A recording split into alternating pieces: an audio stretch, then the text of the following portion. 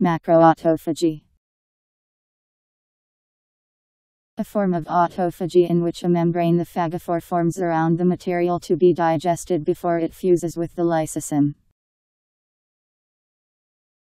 M A C R O A U T O P H A G Y.